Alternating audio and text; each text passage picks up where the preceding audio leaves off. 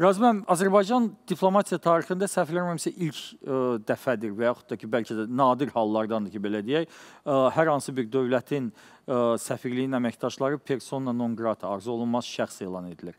Sizin fikrinizcə buna cavab olaraq İran hansı addımlar atacaq? Bizim Təbrizdəki konsulluğumuzun əməkdaşlarına qarşı da bu cür addım atıla bilərmi?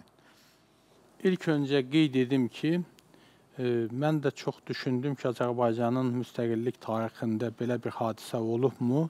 Yadıma sala bilmədim. Məncə ilk hadisədir və mən bunu doğru yanaşma hesab edirəm. Bəribaşdan qeyd edim ki, İranın mənim bu bildiyim məlumatlar, dünya mətbuatından oxuduğum məlumatlara əsaslanaraq deyirəm ki, İranın bütün dünyada səfirliklərində olan əməkdaşlarının yarıdan çoxu xüsusi xidmət orqanlarının əməkdaşlarıdır. Azərbaycanla bağlı isə deyə bilərəm ki, bəlkə də əksəriyyəti. İranın xüsusi xidmət orqanları ilə bağlıdır. Xüsusi xidmət orqanları ilə bağlı olmayanlar isə başqa yöndə yenə də eyni məqsədlərə xidmət etmiş olurlar. Və təbii ki, bu Azərbaycan tərəfinə ə, e, məlumdur. E, Azərbaycan bunu bilirdi, göz yumurdu.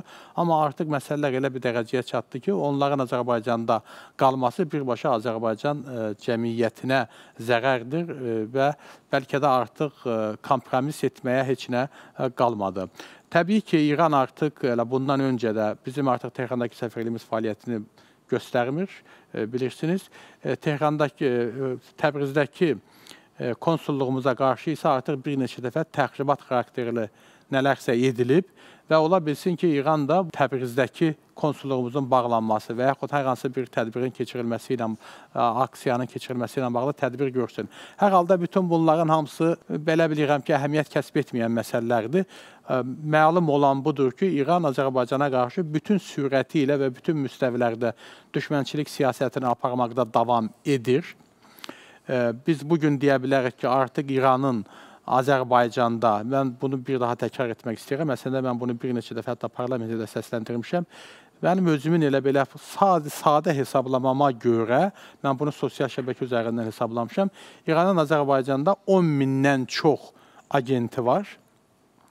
Hansı ki, aktiv fəaliyyət göstərirlər və bu, bu aktiv, fəal agentlərin 10 minin ətrafını da hesablasaq ki, dostu var, tanışı var, ailə üzvləri var və s. xidmət etdiyi yerlər var.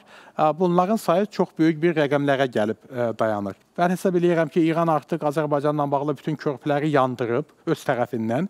Bizim tərəfimizdən bütün körpülər hələ yandırılmayıb.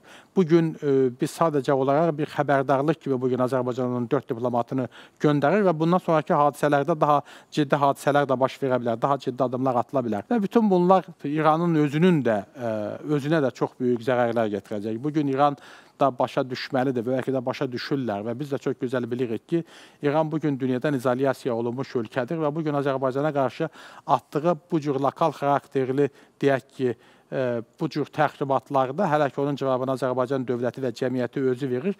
Amma Azərbaycana hər hansı böyük masştabda bir təhlükə törədərsə, təbii ki, Azərbaycanda, Azərbaycanın coğrafiyasında, geopolitikasında, ümumən iqtisadiyyatında marağı olan ölkələr təbii ki, İrana hər hansı bir addım atmağa imkan verməz. İran bunu da bilməlidir. Əlavə olaraq deyim ki, Azərbaycan dövləti də gücsüz dövlət deyil e, xüsusən də İran məsələsində xalqın birliyi 100%dir və İranın da bütün uzantıları da, onun bütün agentləri də təbii ki, şəbəkələri də araşdırılıb aşkara çıxarılacaq. Bildiyimiz çox məlumatlar var. Bunları orada səsləndirə bilmərik, amma İranın heç bir kiçik uzantısı da burada qala bilər.